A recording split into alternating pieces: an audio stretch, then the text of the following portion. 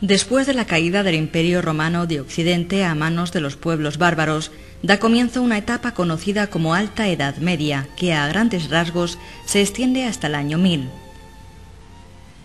La principal característica de este periodo es la fragmentación experimentada por el territorio europeo, pues la desintegración del mundo romano, ciertamente ya iniciada bastante antes de su colapso, produce la aparición de distintos reinos y estados regidos por pueblos germánicos, francos, visigodos, ostrogodos o burgundios. Tradicionalmente se ha considerado la Alta Edad Media cristiana como un mundo regido por la barbarie y la ignorancia, una edad oscura. Esta visión, ciertamente injusta, se ha formado en gran medida al comparar la Alta Edad Media con el mundo romano, al que se considera cargado de esplendor y en el que la civilización occidental alcanza sus mayores logros. Sin embargo, nada más lejos de la realidad. Deslumbrados por el mundo romano, por sus instituciones, los pueblos bárbaros intentan a su manera recoger el legado latino, de tal forma que el extinto imperio romano será siempre una referencia a alcanzar.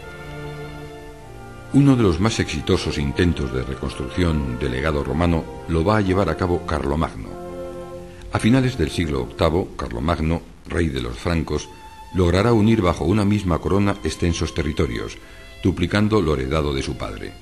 Las fronteras del reino franco se extendieron hasta la península ibérica y el centro de Europa, contando con Italia, Germania, Sajonia y la Dacia, estableciendo en el Danubio la frontera este. De ahí la denominación Carolus Magnus, con la que ha trascendido su nombre a la historia, y la coronación de Carlos como emperador y Augusto en Roma por el Papa León III el 23 de diciembre del año 800, igualándose a los emperadores de Oriente que se consideraban los auténticos herederos de los emperadores romanos. Los intentos por hacer renacer de sus cenizas al imperio romano chocaron, sin embargo, con varios problemas.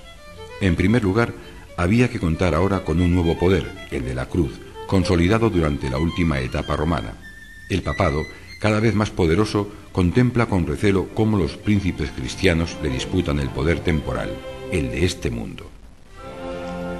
Por otro lado, en Oriente se mantiene el auténtico heredero del Imperio romano, denominado ahora bizantino, que alcanzará un importante desarrollo económico, político y cultural, especialmente en tiempos de Justiniano, periodo conocido como la Edad de Oro bizantina.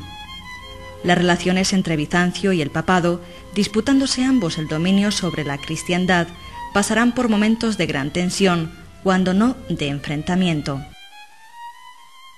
Fraccionado en varios poderes enfrentados, el mundo cristiano no tendrá más remedio que unirse para hacer frente a una amenaza común, la expansión del Islam. La nueva religión predicada por Mahoma se extiende desde la península arábiga, tanto a oriente como a occidente, alcanzando las fronteras de la India y del reino franco. En la península ibérica, el mundo musulmán tendrá una definición propia, al-Ándalus, logrando asentar un esplendoroso Estado islámico en la Córdoba Omeya.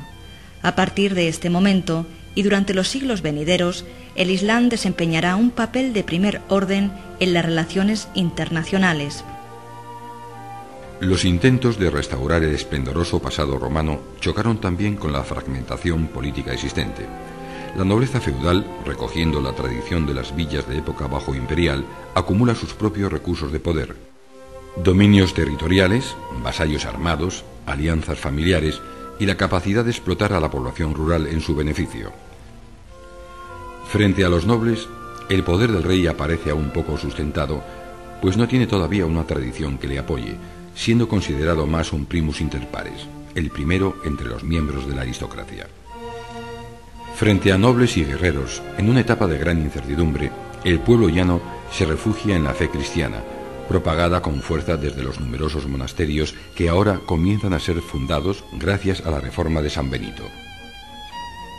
Verdaderos oasis de paz en un mundo convulso, siguiendo la máxima de ora et labora, la lectura y el trabajo se convierten en los métodos de acercamiento a Dios.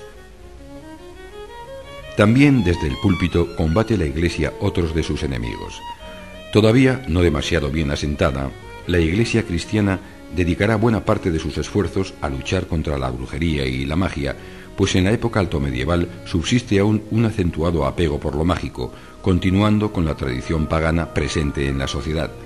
Para desarraigar este paganismo, la Iglesia pondrá en marcha una serie de iniciativas que conducirán a la cristianización de la vida privada, creando nuevos espacios sagrados, afirmando el culto a las reliquias y promoviendo las celebraciones litúrgicas o las procesiones. No podemos abandonar este rápido paseo por la Alta Edad Media sin hablar de su arte, o mejor dicho, sus artes, estando las cristianas englobadas bajo la etiqueta de prerrománico.